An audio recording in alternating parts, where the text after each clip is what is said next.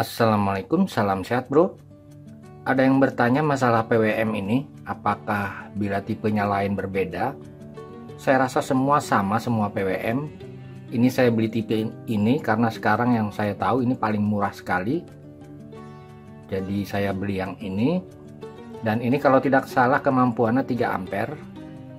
Jadi prinsipnya semua PWM yang ada di pasaran sama Lengkapnya bisa kalian lihat di video saya lainnya saya hanya mencontohkan saja untuk PWM tipe ini. Ini saya beri kabel. Jadi bisa digunakan untuk apa saja. Apa yang saya beri kabel kalian perhatikan. Biasanya 555 outputnya memang sudah umum. Uh, saya gambar saja lengkap nanti kalian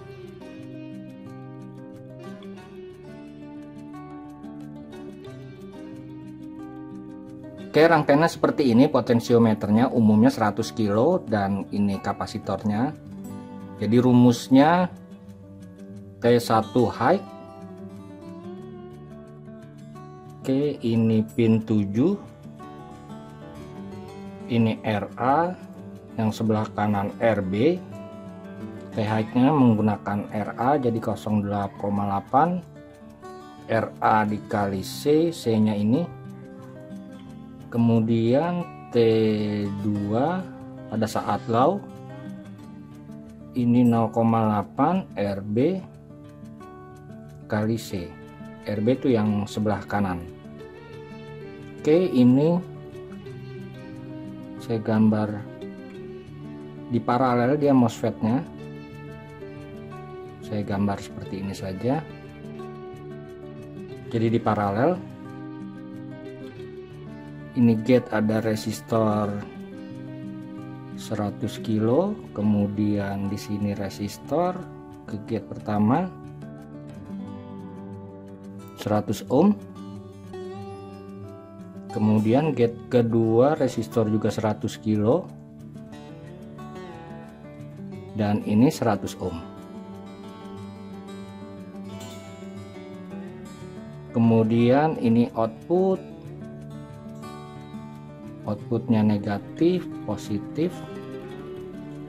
Terlihat bro output. Dan di sini ada dioda dia. Diodanya tipenya saya tidak tahu kira-kira ini 1N 4007 ini kira-kira saja bro. Tapi seperti ini semua rangkaian. Jadi bila kalian menggunakan power ini kurang besar kalian ambil di sini di pin 3 prinsipnya di pin 3 IC pin 5 ini saya ambil di pin 3 terlihat bro. Oke tidak saya coba ini untuk membuktikan ini bisa digunakan akan saya gunakan board saja. Saya coba jadi jadi prinsipnya kalian bisa menggunakan PWM murah saja. Ini yang termurah bro sekarang ini yang saya tahu. Oke saya rakit dahulu jadi yang akan saya coba tidak ada yang merubah ini saya solder saja tambahan. Jadi saya tambah nanti menggunakan uh, IRF Z44 saja. Seperti ini. Gate nya nanti resistornya 10 100 saya menggunakan 100 kilo saja agar kalian memahami tidak masalah. 10 kilo atau 100 kilo 10 kilo.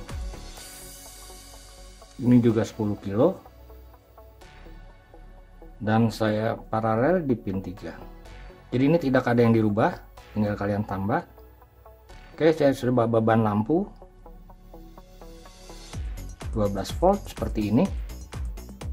Kalian lihat pin-pinnya GDS GDS G gate saya beri resistor 10 kilo kemudian saya beri resistor 10 kilo juga ke ground ke source. Ini GDS terlihat bro. Ke source. Kemudian beban dari drain kaki tengah drain. Ke VCC ini VCC nanti. Kemudian oke ini ground ini VCC kita coba saja. Ini gate-nya ke resistor 10 kilo kalian perhatikan. Gate resistor 10 kilo. Terlihat bro? Gate ini gate GDS resistor 1 ke ground kemudian ini outputnya saya lupa. Output positifnya power.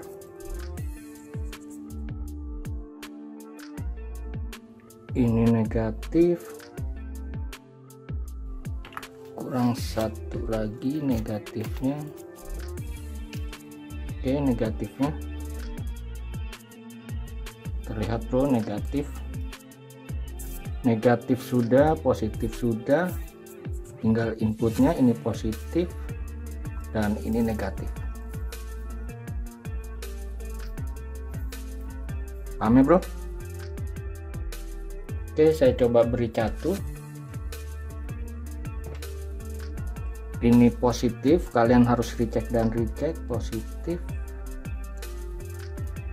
Benar? Dan negatif GDS saya putar ke kanan ya sudah mulai menyala.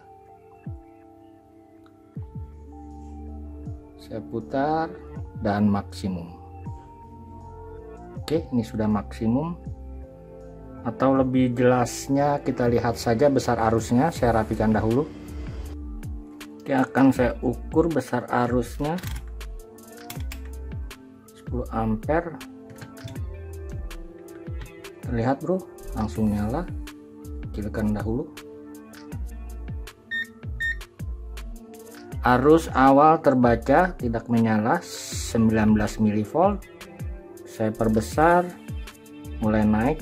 90 80 mV sudah 190 saya naikkan lagi 272 ini sekitar 700 600 oke saya naikkan saya naikkan.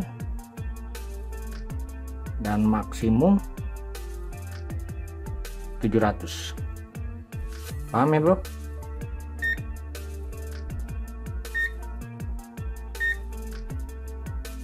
Saya kecilkan.